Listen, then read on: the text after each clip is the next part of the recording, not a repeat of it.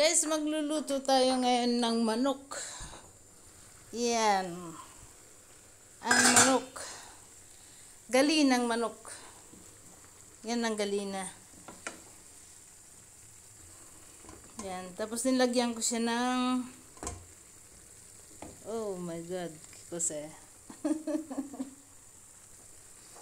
Tapos nilagyan ko siya guys ng karne ng baka. Baka at manok. Siguro marami nagtataka kayo bakit merong, eh, bakit manok at saka ano, galina at saka buto ng baka.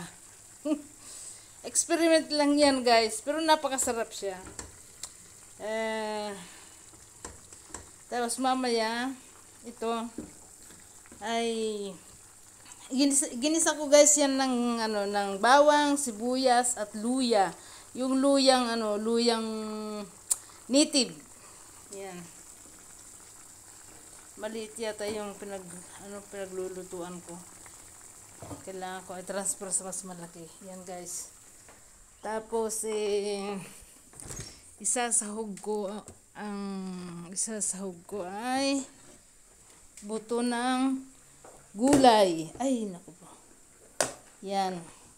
Yan ang isasahog ko dun sa karne. Karne ng galina, manok at saka ah, buto-buto ng baka. Yan. Mm.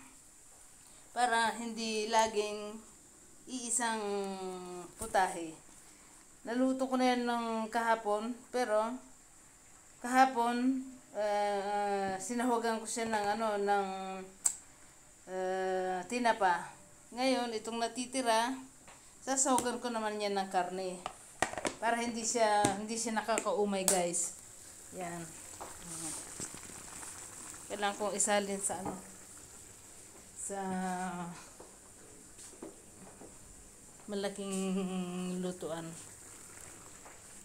At ito naman yung oil, yung herbal oil na ano pinangtiterapi ako sa mga tao, pinang bihilot ko sa mga pasyente. Yan.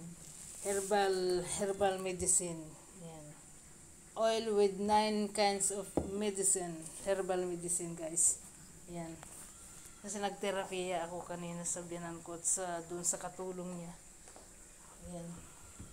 Kaya ako nagluto.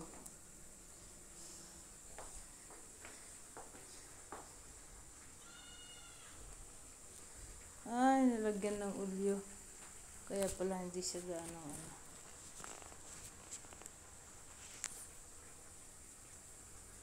Thanks guys for watching. Yan, ito ang activities ko ngayon. Magluluto ako ng masarap na ulam. Thanks guys. Like and subscribe. Thank you very much. Bye.